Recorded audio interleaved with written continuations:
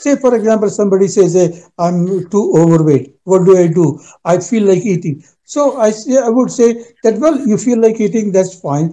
Uh, instead of eating, uh, having uh, four chapatis uh, uh, in a meal, uh, have to start with, for a week, start with three, three and a half.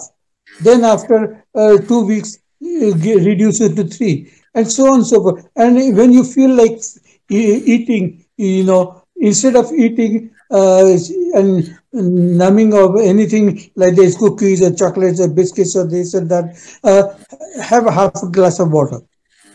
So when you have that sort of thing, you feel little full, then you can skip. So these are tricks and ways and means of avoiding uh, eating. But at the same time, when you when a half a glass of water goes in the stomach, it feels little full, so you don't feel like eating now.